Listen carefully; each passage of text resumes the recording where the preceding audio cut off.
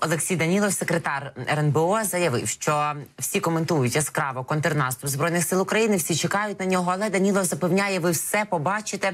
На власні очі він закликав не спекулювати на цій темі, адже про справжні плани збройних сил України знає обмежене коло людей. Нагадав він е, і раніше. Очільник РНБО зауважував, що від трьох до п'яти людей у цілому світі знають про ці плани збройних сил України та плани українського генштабу. Секретар РНБО заявив інформацію про контрнаступ українських військ володіє обмежене коло осіб. Тому усі новини про те, де і яким чином ЗСУ знищуватимуть ворога, суб'єктивні.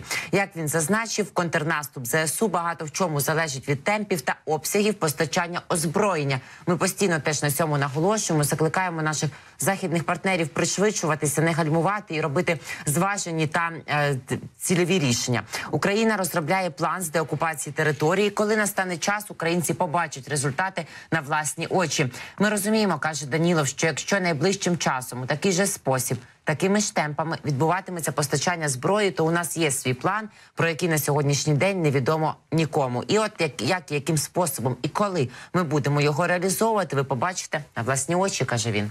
Власне, якщо говорити про те, що Данілов каже, що 5 людей лише знають про контрнаступ, е, ще трішки більше знають Нью-Йорк Таймс, тому що вони передають, що 9 бригад е, чисельністю по 4 тисячі українських воїнів вже вони встигли навчити. Тобто і натість НАТО і союзники відповідно загалом є 12 бригад, і вони готові в травні розпочинати контрнаступальні дії. Це повідомляє Нью-Йорк Таймс з посиланням на свої джерела.